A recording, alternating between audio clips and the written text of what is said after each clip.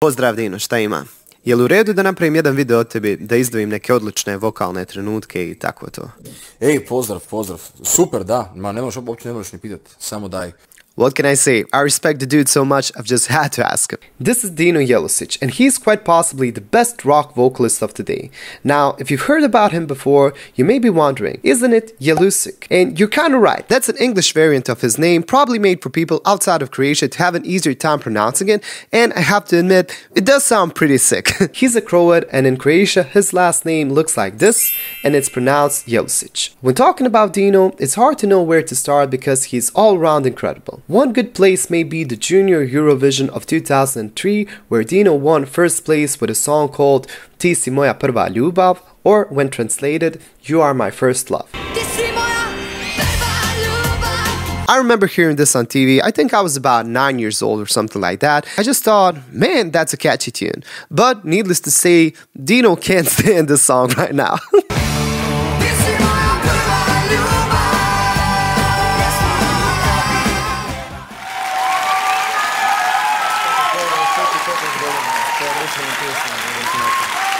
Teže pjevat sad nego što je bilo pjevat onda ili? Teško je, teško je, ali... It kind of reminds me of young Disney or Nickelodeon music stars that nowadays do everything they can to bury the songs they sung when they were younger. Still, as good as a kid singer Dino was, it wasn't all smooth sailing. Puberty came and he openly talks about his struggles to figure out how to sing while his voice was mutating. My voice changed in 2008 and that's where, you know, mutation and stuff, you lose all the high notes. All of a sudden, you can't do anything with your voice. In late 2011, I started developing more rock and heavy metal type of singing. Before that, I was a lot more poppy and pop rock. I couldn't reach the high notes. I didn't have the depth. I didn't have the rasp. As soon as I discovered head voice, I just kept working on it and growing my voice. You learn how to sing high and stuff, but it's also important to learn how to sing with resonance, to learn how to sing with depth, to learn how to sing low, to know how to sing raspy and then clean, you know, to, to learn the right right technique. It took time to, to get to that. He shares a story about a vocal coach he had. This teacher always kept him singing in chest voice and only in a classical, maybe even operatic way.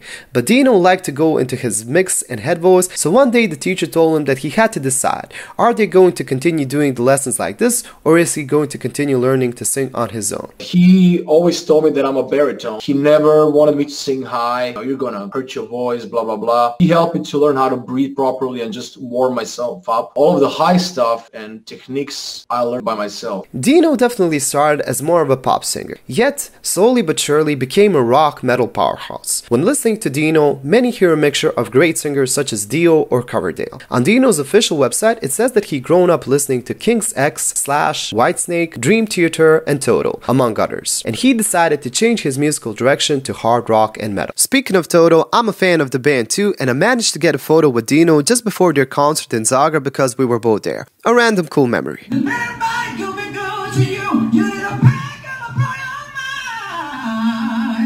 So that's just a short snippet of how Dino sounds right now, but even from that one run, you can hear the quality of his voice. But let's listen to something a bit more fresh where his deep register can really be heard and appreciated. Bring the light, not the gold, cause I can be.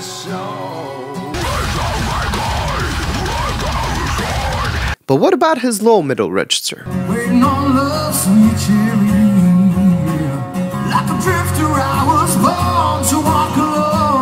Mm-hmm. Okay, but what about the rest of Dino's register? Can he sing in a higher middle range with rasp? Well,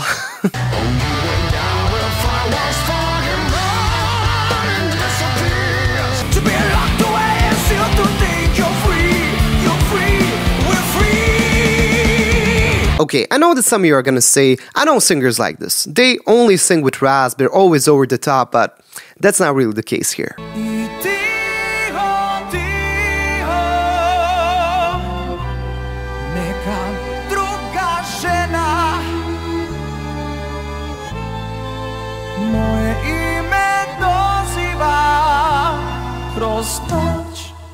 Ružan san. Yeah, but he can't really sing that high, right?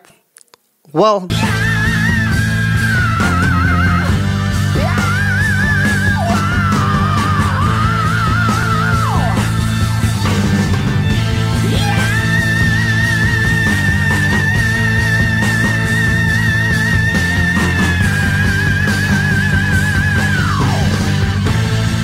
Okay, uh, I guess he's a good singer, but he doesn't play any instruments. Dude, come on.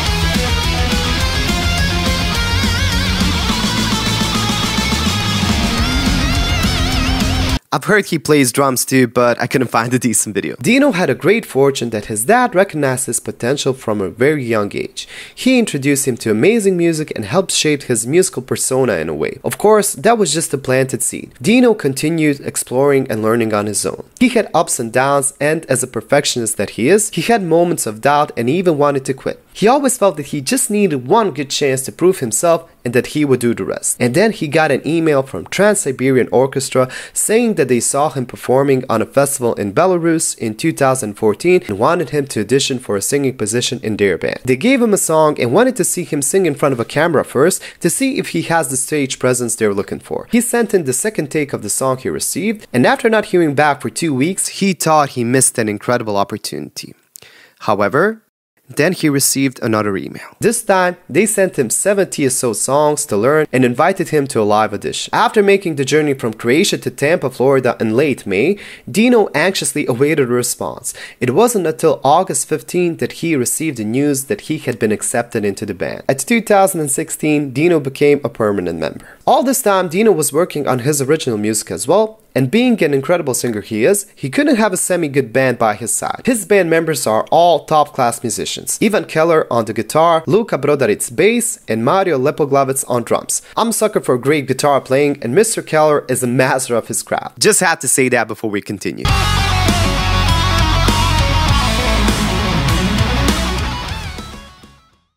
Dino and his former band Animal Drive once opened for a Whitesnake concert. Impressed by Dino, members of Whitesnake called him to play and sing with them on their farewell tour in 2022. While David Coverdale remained the main singer, Dino provided backing vocals and occasionally took the lead when David needed a break. It was a big moment for Dino being alongside one of his early singing heroes, showcasing his professionalism once again. He also played a guitar during the tour.